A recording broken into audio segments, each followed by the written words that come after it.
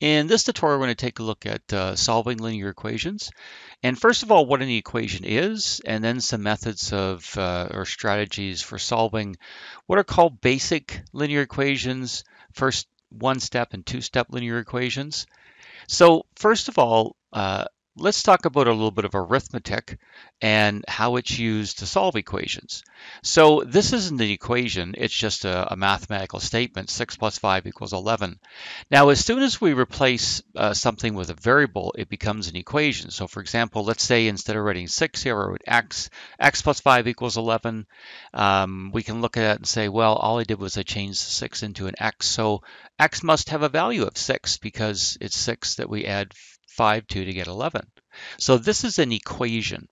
An equation has uh, statements or expressions on both sides, and they're joined together as somewhere in the middle with an equal sign. Okay, that's an equation. Now, let's get rid of that. So let's say I'm going to rewrite this, except I'm going to change the 6 into 2 times 3 okay, because 2 times 3 is the same as 6. So this is another uh, arithmetic uh, uh, statement 2 times 3 plus 5 equals 11.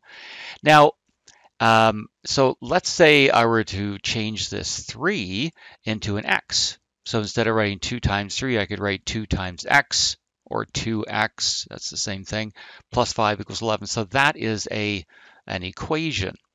And uh, all we did was re I replaced the 3 with an x. So x should have a value of 3 because 2 times 3 is 6, plus 5 does give you 11. That's called a check, and we'll get into that uh, in a couple of pages here. Now, solving equations uh, uh, is, is like using a balance. The equation has to stay balanced. And what that means is the value on both sides has to stay the same. So let's go back to the 6 plus 5 equals 11 one. If I put 6 plus 5 on one side and 11 on the other side, it's balanced because this is 11, this is a value of 11, and so does this. Now let's say I took a balance and I subtracted 5 from both sides here. Okay, so notice I'm doing the same thing to both sides.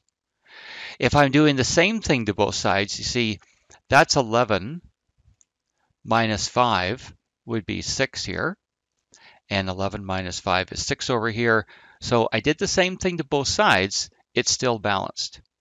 Let's say instead of subtracting 5 from both sides, let's say that I only subtracted it from the left side.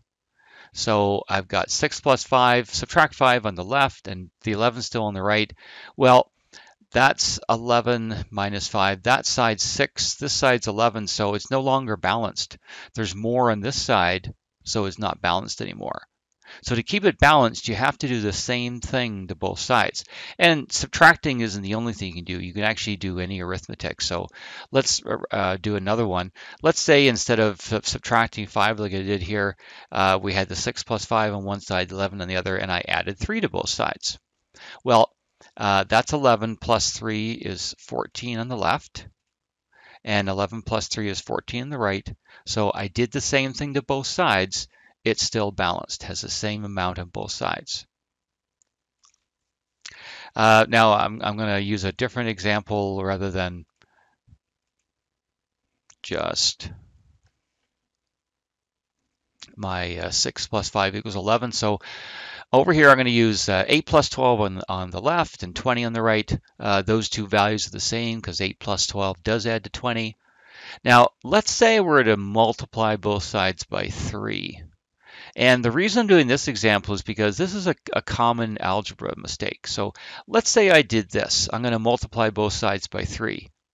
Now, um, if you look at what's on the left here, and you have to remember to use BEDMAS whenever you're doing any arithmetic, add, subtract, multiply, divide, exponents, all that kind of stuff.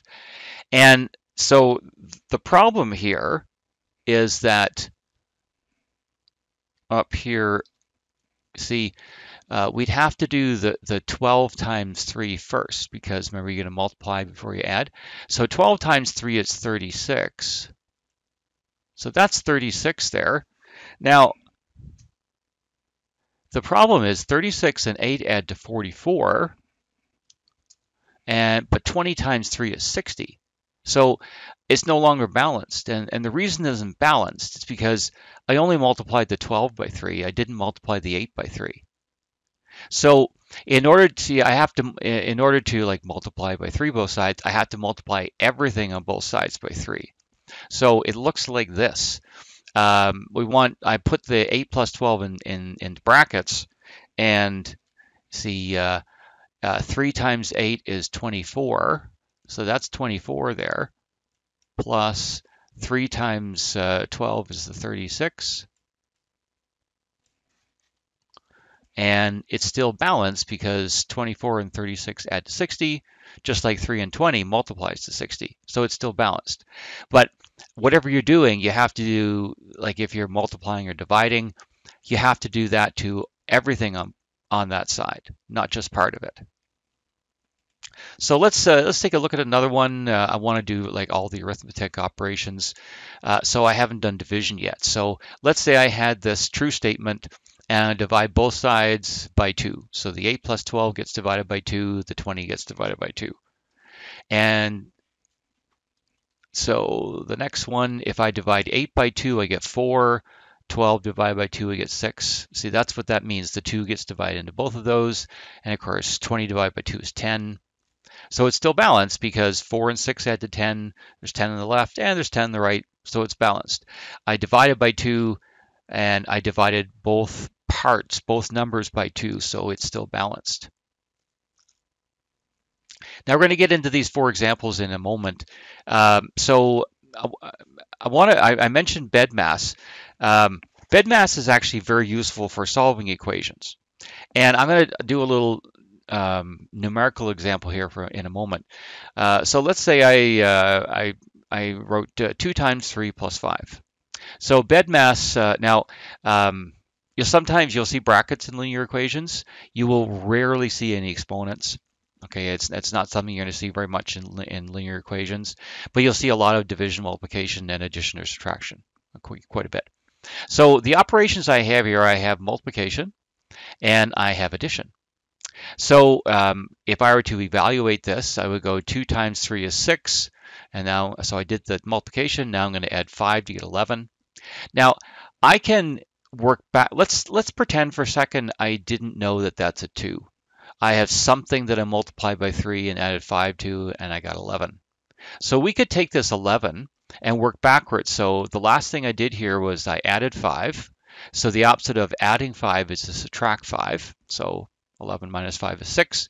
So remember, let's we're pretending we didn't know that's 2. So we multiply by 3. So the opposite of multiplying by 3 is to divide by 3. So if I take that 6, divide by 3, I get back to the 2. So we use BEDMAS to evaluate expressions. We use BEDMAS in the opposite order to solve equations. So notice that um, I did subtraction first. See, normally we do addition, subtraction at the end, the very last thing. I did subtraction first, and then I did division here. Division multiplication is done after you do any addition, subtraction. So, uh, so work using BEDMAS, but in the opposite order to solve equations is, is a very useful strategy. Um, you can kind of think it like this. The, the arithmetic followed BEDMAS to give you some number. So you undo all that arithmetic to get back to your solution, your answer. Okay. So let's take a look at uh, these examples. Uh, so it says solve each equation and check the solution. So I'm going to show you what a check looks like too. So x plus 4 equals 11. So this is this what this equation means is I've got some unknown number that I'm adding 4 to to get 11. And a lot of these fairly simple equations, you might be able to use your number facts to find the answer without doing any particular strategies.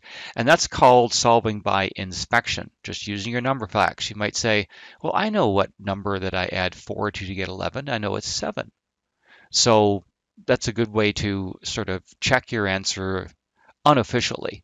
Um, so um, in, in equations, uh, what we want to do is, again, use, we use BEDMAS, uh, but in reverse order. See, we want to get the x alone or, or isolated. Isolated alone means the same thing. So right now the x plus has four, x has four added to it to give 11. I don't want to know that what x plus 4 is. I want to know what x is. So what we do is we're going to undo this add 4. So the opposite of adding 4 is to subtract 4. So all these opposite operations, you come in, I've, I've done them all in red here. Now, a lot of, you'll hear a lot of uh, teachers use the word cancel here. The 4 is cancel out.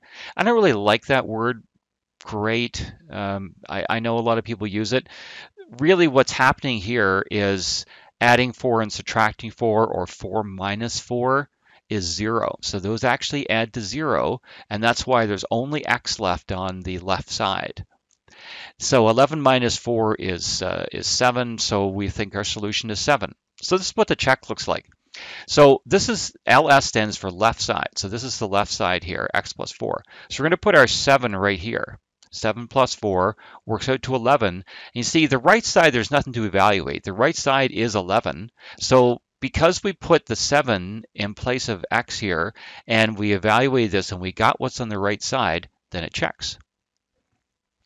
So uh, B here, uh, 4w equals 32. Now 4w means 4 multiplied by w.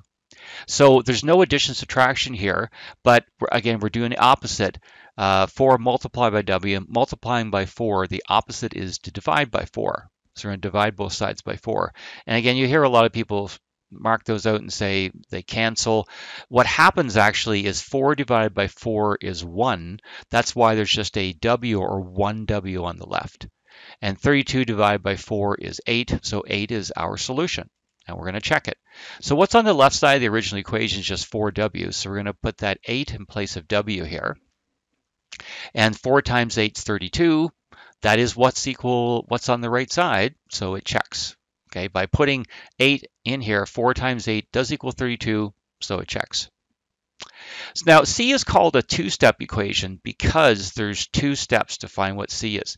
See, C is multiplied by 2 here, that's what 2C is, and then 5 is subtracted, so there's two arithmetic operations. Now, um, we're going to again, work BEDMAS in opposite the opposite order. So any addition subtraction, you do that first.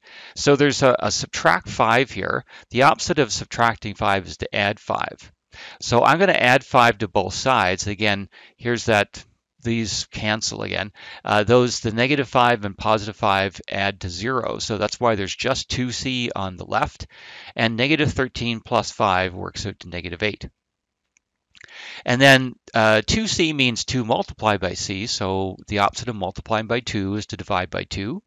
Again, the 2's divide out, so we just get c on the left, and that would be negative 4. So here's our check again. 2c minus 5 is what's on the left. So we're going to put the negative 4 right here. So it's 2 times negative 4, and that's negative 8. Uh, subtract 5. Now it does, see, it does equal to negative 13. Okay, that's what's on the right side. So uh, by putting the negative 4, see negative 4 is what makes that a true statement. 2 times negative 4 subtract 5 is negative 13. If, if I got some other answer here, like if I put, let's say I thought for some, let's say I missed the sign. I thought that, uh, I'll show you this in my calculator here. Let's say I missed the sign and I thought that C was positive 4. Okay, so if I went 2 times 4 subtract 5, notice that it doesn't equal negative 13 because 4, positive 4, is not the right answer, okay, is not the solution. Okay, so uh, that's, that's how the check works or can show you that you made an error.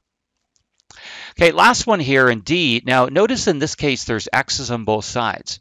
And um, what you want to do is use the these inverse operations in order to rearrange it so you have the x's on one side, the numbers on the other. Now the next two steps can actually be done in either order, it doesn't matter. But the first thing I'm going to do is get uh, the x's on the left side. So I have a 4x on the right here. So what I'm going to do is I'm going to subtract 4x from both sides. So 4x, the, uh, that will be 0 there. So 7x minus 4x is 3x. Uh, the, so the subtract 6 is still here. That's gone because that's 0. So 0 plus 3 is just 3. And then uh, this is now an equation very similar to C here. Uh, I'm going to get rid of this. Uh, I'm going to uh, handle this negative 6 here, or subtract 6. The opposite of subtracting 6 is to add 6. So I add 6 to both sides. So that's gone. That's 0. So just 3x on the left, and that's 9. And then 3x means 3 times x, so we divide out the 3, and we get x equals 3. So now the check for these ones looks a little different uh, because there's expressions on both sides. So what we're going to do is we're going to put the 3 back in place of x here. So it'll be 7 times 3 minus the 6. So that's 21. Subtract 6 is 15. Now, we don't have a 15 over here. We have uh, a right side expression of 4x plus 3. So again, I'm going to put my 3 in place of x here. 4 times 3 is 12 plus that 3. Now notice it gave me the same value. As long as those are the same, then that is the correct solution. So that's a little bit about how you can use uh, inverse operations to, uh, to solve equations. And remember, it's really BEDMAS in reverse. And that's the end of the tutorial.